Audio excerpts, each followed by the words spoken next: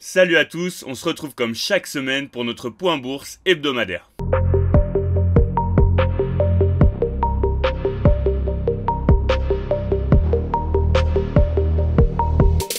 Comme d'habitude, on fait un point sur les actus de la semaine, puis on passera à l'analyse technique du CAC et du S&P, et enfin on terminera sur un petit point crypto pour terminer cette vidéo. Alors cette semaine, on a un CAC qui se stabilise, signant un léger rebond depuis le repli de la semaine dernière.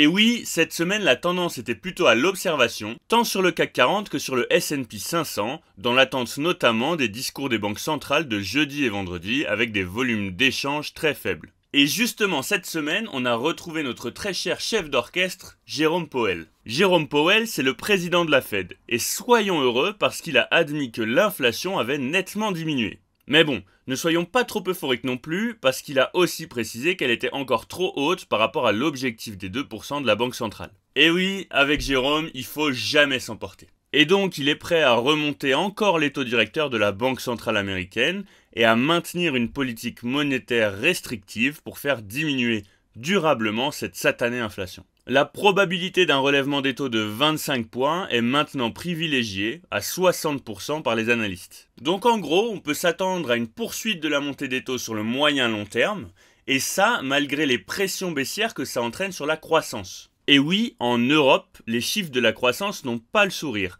et en particulier pour l'Allemagne et la France, on est actuellement en récession.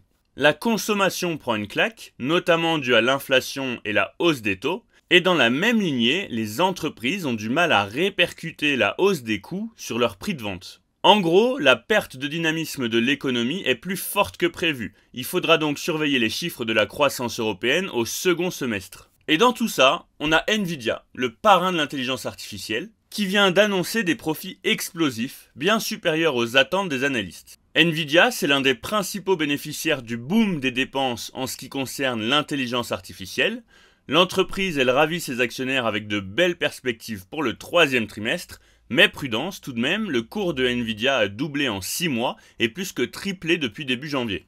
Attention aussi, selon JP Morgan, le boom de l'intelligence artificielle n'aura pas d'impact immédiat sur l'économie des États-Unis. Selon la banque d'investissement, le boom devrait plutôt favoriser de vrais gains de productivité d'ici 3 à 4 ans. Passons maintenant aux pays émergents qui veulent réduire leur dépendance au dollar. Ces 5 pays, le Brésil, la Russie, l'Inde, la Chine et l'Afrique du Sud, qui pèsent près du quart de la richesse mondiale, ont organisé leur sommet du 22 au 24 août à Johannesburg. Lors de ce sommet, on a parlé de détrôner le roi dollar, symbole de l'hégémonie occidentale, mais aussi l'élargissement de leur bloc à d'autres pays, notamment d'Afrique. Leur objectif est de basculer d'un monde qui est dominé par le dollar depuis l'après-guerre vers un monde financier multipolaire avec des devises locales. Pas si simple les divergences politiques entre certains pays des BRICS, en particulier la Chine et l'Inde, rendent la démarche compliquée. Ce ne sera donc pas pour demain. Et on fait un petit point rapide sur la Chine parce qu'on en a déjà beaucoup parlé au dernier point bourse. Et oui, l'économie chinoise, elle fait toujours grise mine. Après des décennies de croissance, tous les indicateurs dont on dispose montrent des signes d'un ralentissement. Le HSI, l'indice boursier de Hong Kong, est en baisse de 20% par rapport à son pic de janvier. Le yuan a atteint son niveau le plus bas depuis 16 ans. La croissance stagne, les exportations sont en berne et le chômage des jeunes atteint des niveaux inquiétants. Comme on l'a déjà évoqué sur le dernier point bourse, on observera la chute des géants de l'immobilier chinois qui peut avoir des répercussions sur son économie. Allez, on passe à l'analyse technique. Et on a notamment le S&P 500 qui termine en baisse malgré les résultats impressionnants de Nvidia et après avoir tenté de rebondir depuis le début de la semaine. On a cassé vers le bas un petit canal haussier. L'indice a ainsi formé une figure de chandelier en Maruboso, ce qui est une figure baissière qui témoigne d'une pression vendeuse croissante tout au long de la séance. Cette figure baissière ouvre donc la voie à un possible retour du S&P à ses plus bas de la semaine dernière, autour des 3330 points.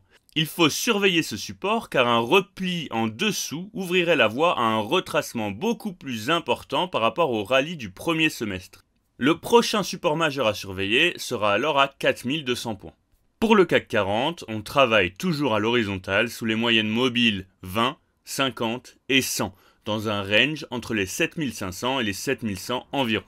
On fait un rapide point crypto avec Mastercard et Visa qui annoncent la fin de leur collaboration avec Binance. C'était une collaboration dans le cadre du développement de cartes prépayées en crypto. On peut se poser des questions parce que c'est des sociétés qui semblent intéressées par le Web3. On a par exemple Mastercard qui a déposé une demande de dépôt de marque pour le lancement de son interface de programmation d'applications téléchargeable.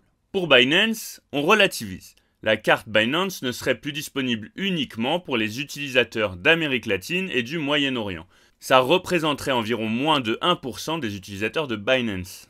C'est pas la joie en ce moment pour Binance qui a déjà été inquiété par les régulateurs américains en début d'année. CZ et ses acolytes ne semblent pas baisser les bras face à toutes ces épreuves et surtout malgré le FUD que subit la plateforme. Voilà, c'est tout pour ce point bourse. N'hésitez pas à nous dire ce que vous pensez de ces actualités dans les commentaires. Si vous avez des questions, c'est pareil, on y répond en commentaire. Et n'hésitez pas à vous abonner pour ne manquer aucune de nos vidéos.